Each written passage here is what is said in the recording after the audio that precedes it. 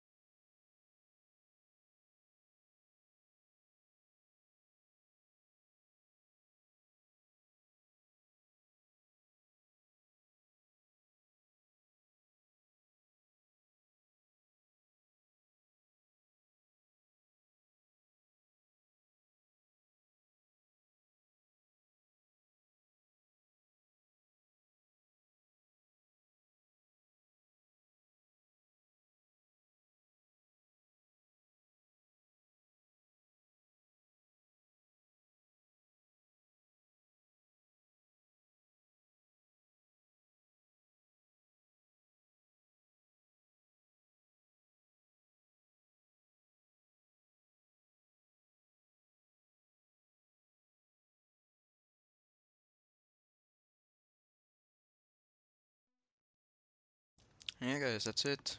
Um, sorry if it was maybe a little too quick or too complex or something like that, and just say in the comments. I will do my best to help. Um, thanks for watching. Like only if you built this part and you liked it. If you didn't, dislike and tell me what to change. Uh, see you in part 4. Bye.